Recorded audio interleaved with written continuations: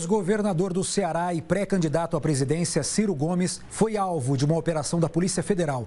O irmão dele, senador Cid Gomes, também é alvo da ação que apura irregularidades em obras do estádio Castelão para a Copa do Mundo de 2014. A operação foi hoje de manhã.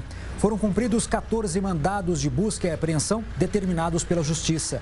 Além de Ciro e Cid, outro irmão, Lúcio Gomes, também foi alvo da operação.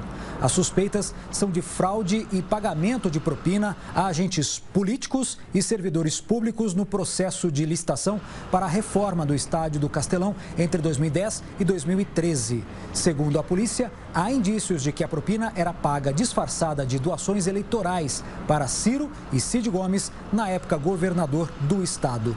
Em nota, Ciro Gomes afirma não ter nenhuma ligação com as irregularidades e classificou a ordem judicial de abusiva. O senador Cid Gomes disse que vai se pronunciar ainda hoje.